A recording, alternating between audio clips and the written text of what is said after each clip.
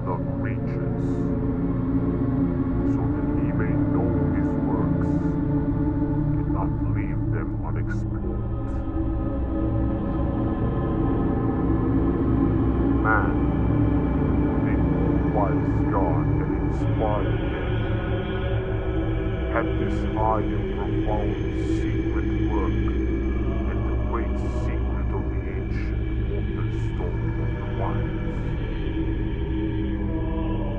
Ever there is a natural thing on earth, uh, it is the preparation and the magisterium of the philosopher's stone. Natural and not of man's making, but only the work of nature. For the artist added nothing thereto. Nature alone directed the as doth every tiller of the soil fruit and plants. Only he must be subtle in mind and have the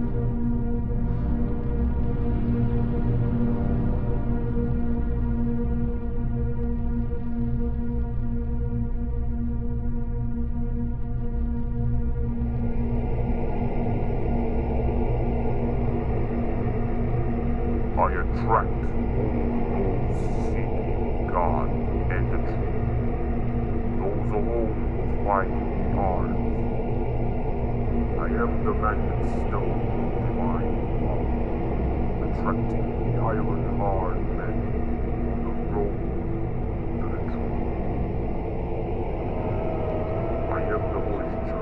preserves everything